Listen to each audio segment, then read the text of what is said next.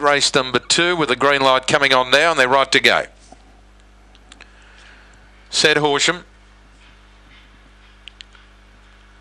Racing, Railway Borough, only fair to go, and uh, going fast, Argyle Roxanne, and uh, Argyle Roxanne went up on the rail to be a joint leader, with All In Taylor coming over to head it off. Railing up Railway Borough, followed by All In Rosalie and Jagged Edge, the tail ender. All In Taylor's going to turn in front, went wide, and Railway Borough stuck up on the fence to go through and take the lead to All In Taylor, running on Jagged Edge, but away goes Railway Borough, and it's too good. Fortune's clear to win well. Over Jagged Edge, All In Taylor, Argyle Roxanne, and All In Rosalie, and the run there 23.42.